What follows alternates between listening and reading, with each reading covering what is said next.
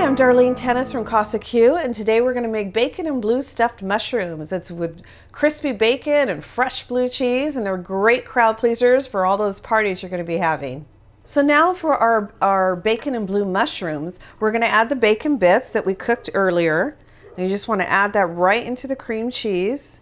And we're going to add some blue cheese, nice fresh blue cheese, some accent cheese.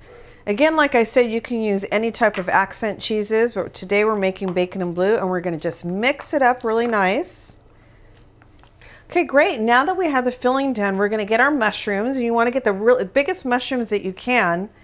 And then what you're gonna do is you just grab the stem and just wiggle it a little bit, it pops out and you have a nice little bowl there so you could put your fillings in. Now that we have the little mushroom bowls, we're gonna get the filling that we made earlier and just fill up that bowl with our blue cheese and bacon filling. And there you go, it's just like that. Sometimes when you have really round mushrooms, you want to just cut a little bit off the bottom just so it stays flat on the cookie sheet.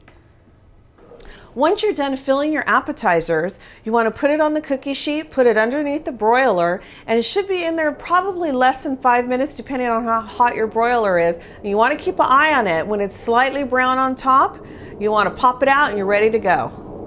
And here we go. We have the final bacon and blue stuffed mushrooms. Yummy, ready to eat. And if you want the recipe, go to casaq.com and hasta pronto.